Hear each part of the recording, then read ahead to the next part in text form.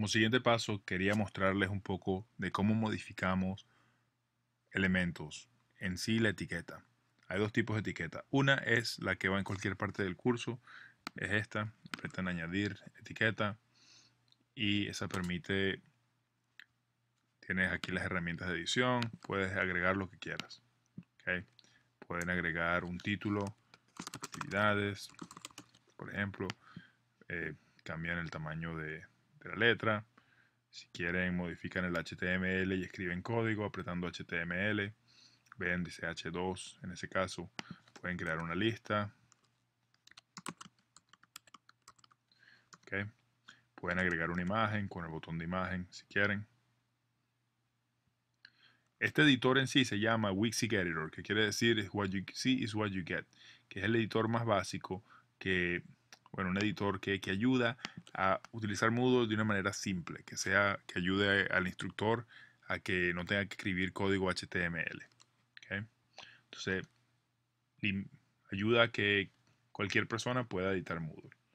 Añadir imágenes, modificarlo de una manera que, bueno, que les sea más útil a ellos, sin tener muchos problemas y que lo puedan hacer ellos mismos, no tener que recurrir a un experto en HTML.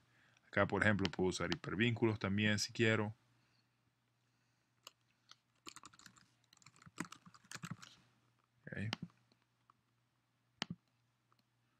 Entonces, te permite cualquier tipo de cambios, añadir una tabla, añadir, en este caso, video también, si quieren, lo que quieran. Básicamente, cualquier edición de, de, Word, si quieren la pegan también, pueden usar esto para pegarla sin código de Word pero muchas veces uno la pega normal y no hay problema. En, todo caso, esto es un editor bastante complejo. Eso es lo que hace una etiqueta. Añade elementos dentro de la página o la parte principal de, de Moodle. La parte frontal. Ven que añade actividades acá. Ahora, ¿qué pasa si queremos cambiar esta parte que dice tema 1 y poner ahí recursos, por ejemplo, o recursos de Word, digamos?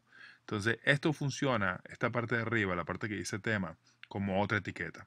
No solamente uno puede añadir etiquetas donde uno quiera, sino que cada cajita en sí tiene etiquetas. Entonces, le cambiamos el título Word Recursos. Y acá puedo hacer lo mismo, añadir imágenes, lo que yo quiera en esta caja también. Aquí puedo añadir elementos.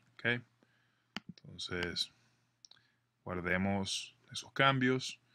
Ahora los vamos a ver en la página principal. Y esa es igual que la etiqueta que tenemos acá. La diferencia es que esta etiqueta no se puede mover, mientras que esta se puede mover de una semana a otra. ¿Ven? Pero esta no se puede mover. Lo que sí se puede mover es la caja completamente. Si yo quiero mover una semana abajo de la de otra, también las puedo mover. Acuérdense que el ojo, que hace cosas visibles o invisibles, está tanto en un recurso como las cajas y el mover también está en un recurso como la caja. Eso es todo por este video. Gracias.